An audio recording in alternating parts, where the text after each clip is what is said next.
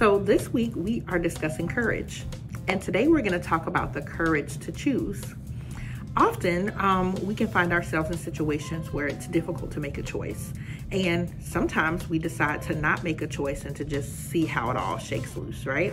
Well, that's actually you making a choice not to do what it is you know that you really need to do in a situation. Today, I want to encourage you to have the courage to say yes to God, to choose you.